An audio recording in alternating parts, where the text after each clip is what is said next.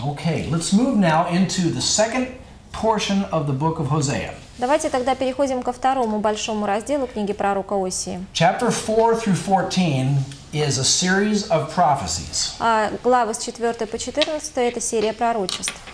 And, uh, and we should know that Israel is sometimes called by different names. А мы должны с вами знать, что Израиль а, называется разными именами. So whenever you Иногда. see Samaria, А, Например, иногда мы читаем Самария. А под Самарией подразумевается Израиль. So is Ephraim.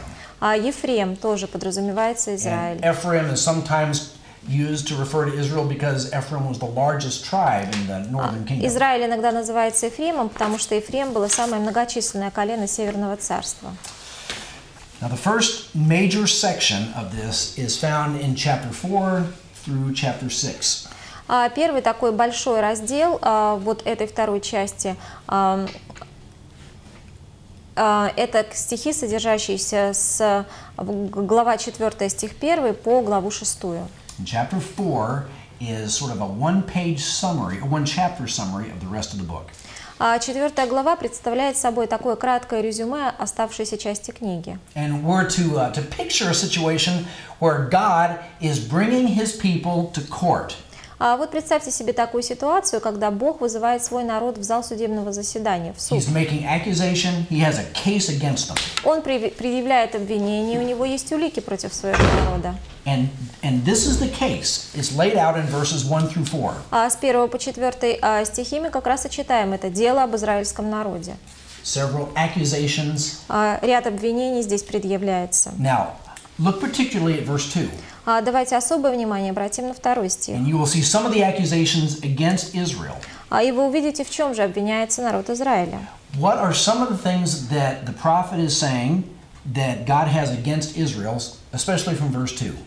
А Вот давайте посмотрим, а, что Бог имеет сказать против Израиля, начиная со второго стиха. А, do you want me to read? No, let's just go А, ahead вы and say them out loud as you прочитайте, see. вы прочитайте и вот эти обвинения просто перескажите. Убийство, воровство, прелюбодейство. Oh, is that basically quoting verse Yeah, 2? that's great. Кровопролитие. Okay. Um, murder, Okay. So it- harlotry. it's a list of various sins. То есть дается список вот этих беззаконий. And if you compare those sins with the Ten И Commandments, если мы эти грехи с вами сопоставим с десятью заповедями, you'll see that many of the Ten Commandments are at issue here. то увидим, что а, народ в большей степени нарушает эти десять заповедей, совершая подобного рода грехи. And then violence is especially pointed out. А насилие или кровопролитие особенно подчеркивается. In verse 2, Во втором стихе. И кровопролитие следует за кровопролитием. Now, Israel is about to be judged for her sin. А итак, Израиль а, подвергается обвинению за свои грехи. In America, we have a saying В Америке мы говорим так. when someone is suffering because of her, uh, of his or her own uh, mistakes, Когда кто-то страдает за свои ошибки, we'll say he shot himself in his own foot. а, мы говорим примерно так. Он сам себе выстрелил в ногу. Nobody else shot him, he shot himself. А, Он сам себе выстрелил, теперь хромает. Никто в него не стрелял. And so Israel is about to suffer, but it's because of what she did. Так вот, Израилю надлежит пострадать, но а, не потому, что кто-то причинил ему боль, а потому что он сам а, вызвал эти страдания. And the consequences are laid out in the verses that follow. А в последующих стихах а, перечисляются последствия этого.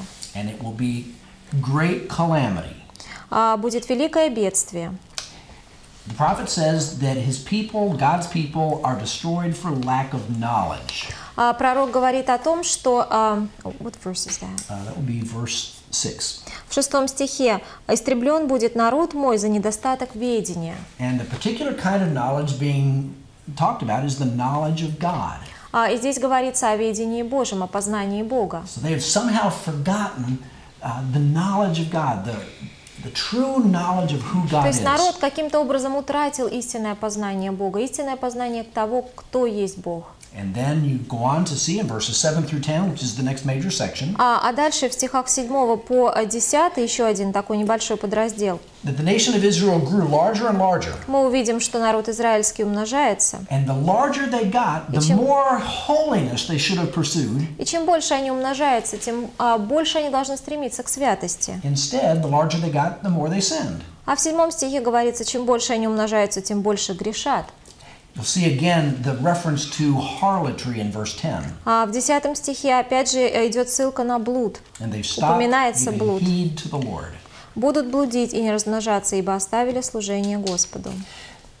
We see in the, the verses that follow in 11 to 14 А с, пер- с 11 по 14 стихи the depth of their moral depravity. а, мы читаем о глубине нравственного упадка в народе израильском.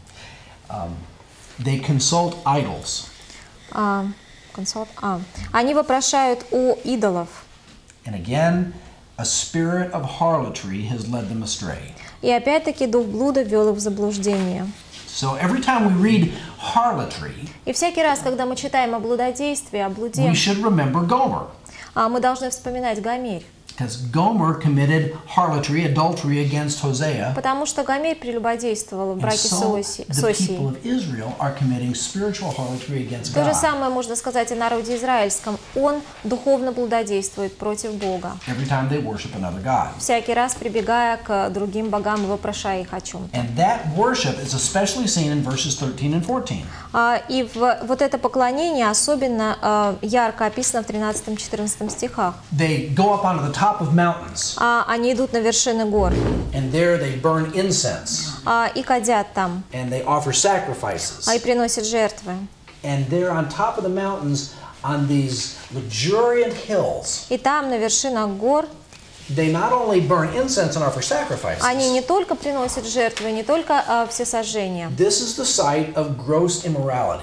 А, Это стало местом а, а, исключительной аморальности, исключительной безнравственности. He says that they, they play the harlot in their, their idolatrous worship. Здесь говорится, поэтому любодействуют дочери ваши и прелюбодействуют невестки ваши. So we have to understand this is not just bowing down to an idol. Поэтому мы должны понимать, что под идолопоклонством понимается не только склонение перед идолом. This is actual sexual immorality associated with Сюда присоединяется еще и половая безнравственность, половая распущенность. And for that reason, God will not judge the women who are involved in this idolatrous immorality А, и поэтому Бог будет судить не только женщин, которые участвуют в этом, because the men are involved as well.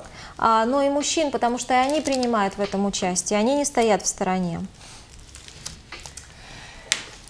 Verses 19 through, or verses 15 through 19, А стихи с 15 по 19.